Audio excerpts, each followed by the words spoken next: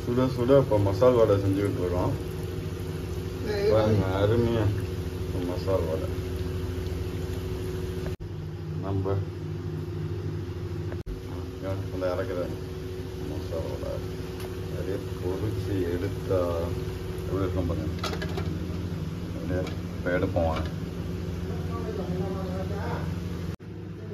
இன்னைக்கு நம்ம செய்ய போகிறது முட்டை போண்டா கத்திரிக்காய் பஜ்ஜி இதெல்லாம் இன்னைக்கு செய்கிறோம் மாவு குழப்பி வச்சுருக்கோம். வாங்க போடுவோம் ரெடி ஆயிடுச்சிங்களா வடை மாஸ்டர்